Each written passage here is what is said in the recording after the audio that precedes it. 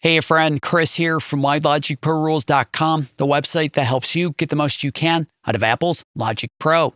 Welcome to day four in our Newbie to Ninja series here on the channel and website. We're going to show you how to go from feeling like a beginner in Logic Pro to being an expert, where you're fully comfortable and capable to execute on your creative ideas in this amazing application. Today's video picks back up where video three left off. And in video three, I showed you how to get set up with your audio interface or USB microphone with Logic Pro so you could get right down to recording audio into your projects.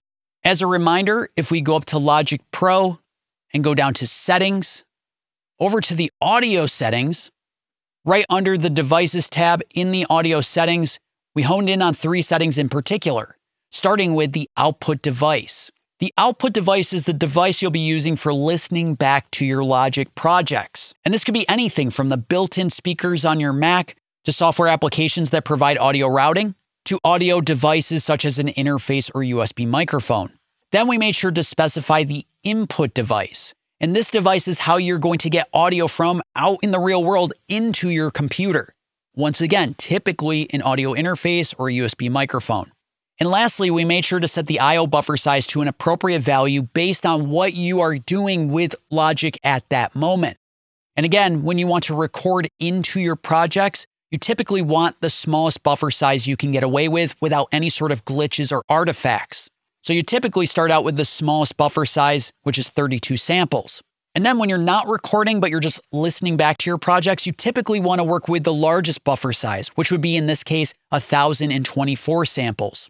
And the reason that you would choose a smaller buffer size when you're recording really boils down to one word, and that word is latency.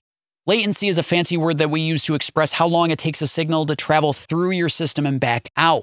For example, if you're recording yourself singing into a microphone, it takes time for your voice to travel through your microphone, through your audio interface, through your Mac and Logic Pro, and back out to your speakers and headphones. And that time that it takes, that latency can be so dramatic, so drastic that it can make it almost impossible to record. Because as you're singing into your microphone, you're hearing yourself in your headphones almost moments after you sing the words. And again, this could happen for audio tracks or software instrument tracks or anything else.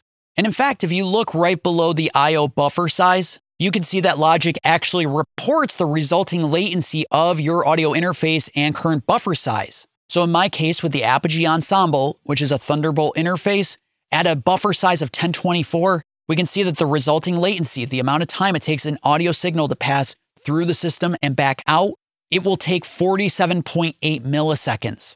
Whereas if we set the buffer size to 32 samples, it will only take 2.9 milliseconds, which is a tremendous difference. So our goal is to record without any latency, but smaller buffer size does require more effort from your Mac. And thus, we're trying to negotiate and ensure our system is stable while we're trying to record without latency. So I want to explore these two extremes of the buffer size right now with you. So let's set the IO buffer to 1024 samples and let's click apply. And let's close the audio settings window by clicking on the red circle in the upper left hand corner. Now, once again, looking in the inspector here or in the mixer, we're going to set the input for audio track one to an instrument input on my audio interface. So if we click on the input dropdown, we're going to set the input, in my case, to input 11, but you would set the input to whatever's most appropriate for your own audio device. Cool, and we can see that this has been reflected in the mixer and the inspector simultaneously because again, audio track one right here corresponds with audio channel strip one in the inspector and the mixer. All right, so let's close the mixer. From here, I'm going to record enable audio track one, and I'm going to play my guitar so we can hear it through Logic Pro Software Mixer and make sure everything's connected as it should be.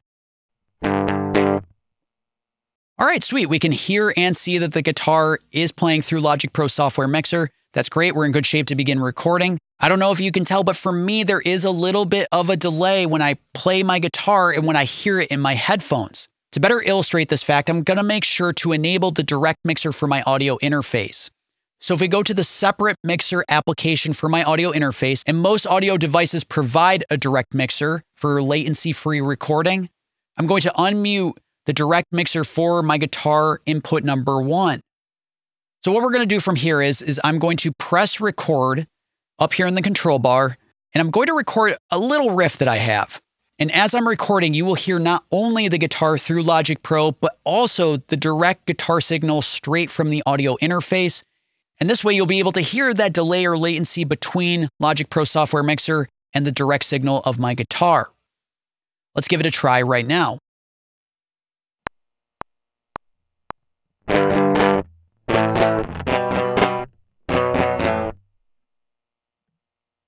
All right, so I'm sure you could hear that difference in timing between Logic's mixer and the direct mixer of my audio interface. And in this case, it could be a bit distracting to play with this delay or latency. So once again, we're going to go up to Logic Pro, go down to Settings, and go to the Audio Settings once more. And we're going to set the IO buffer size this time to that of 32 samples.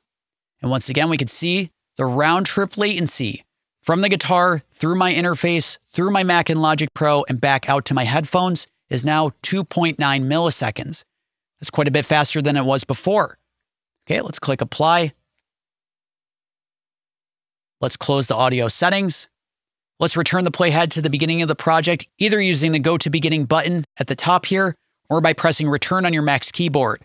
So let's record enable once again. I'm going to begin recording again, either by pressing on the record button in the control bar or using key command R on my Mac's keyboard. And let's see if we've reduced that latency. Again, we're going to listen to the guitar through Logic Pro and directly from the audio interface. If that latency has been reduced, we should hear less of two separate signals and almost like they're one single signal. Let's give it a try.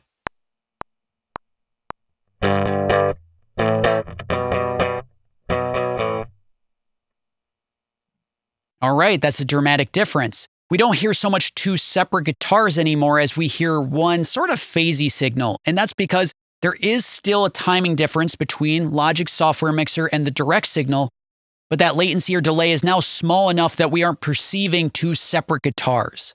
So now, if you want to record into your project, no problem. You're not going to perceive any sort of delay when you're recording.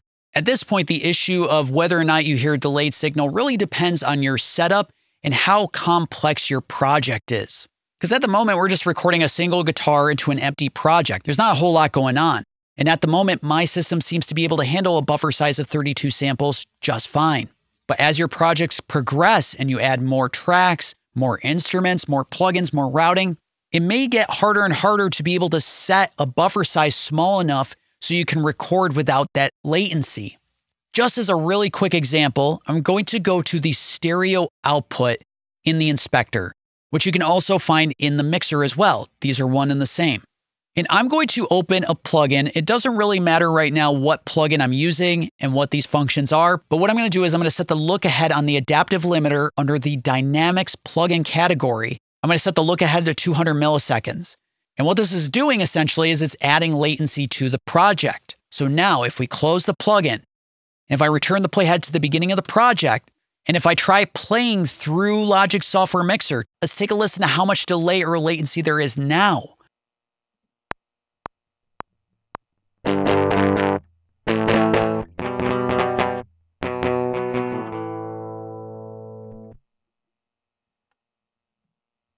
Well, holy cow, the latency we were dealing with before was like nothing. This is so significant even at a buffer size, again, if we go to Logic Pro, settings, audio settings, at a buffer size of 32 samples, that latency is so extreme, I can't record with any sort of confidence. So, how do you get around that issue? In both these scenarios, we need some sort of workaround. So, what we're going to use is, is low latency monitoring mode in Logic Pro. Let's go up to Logic Pro, go down to settings, and let's go to audio. And under the general tab in the audio settings, Right at the bottom is an option to turn on low latency mode. So let's click on that right now. Let's now try to record into our project once more. Here we go.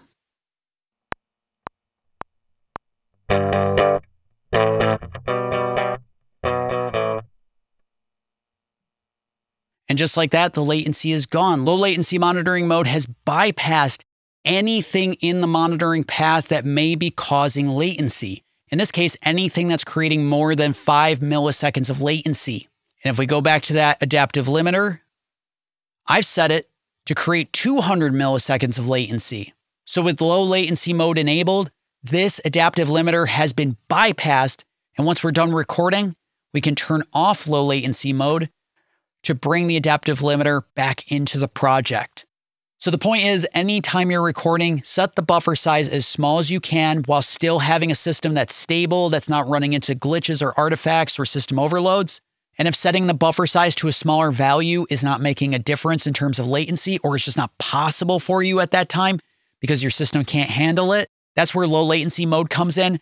And this will bypass anything in the monitoring path that is creating that delay or latency. Thanks so much, and I'll see you for more tomorrow in this Newbie to Ninja series. Take care.